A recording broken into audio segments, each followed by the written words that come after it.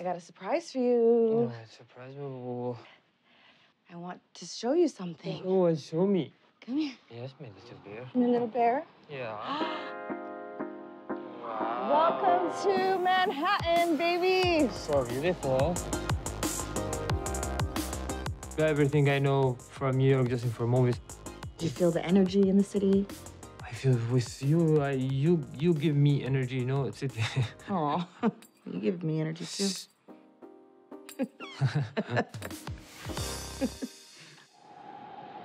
I can't believe we're really here together, babe. for life, angel.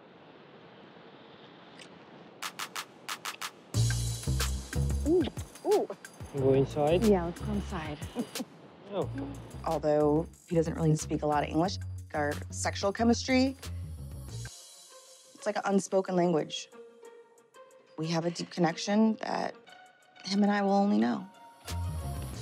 Mm.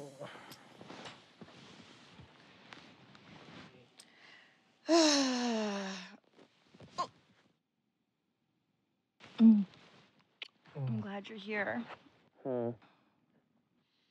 Babe, come on. I got us this nice hotel, It's nice place. and we're in New York City together. Go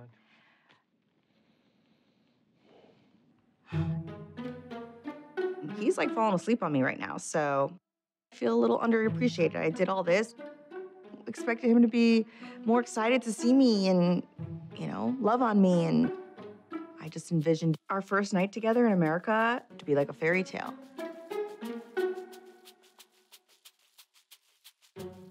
I've been waiting five long years for this, and he better not disappoint.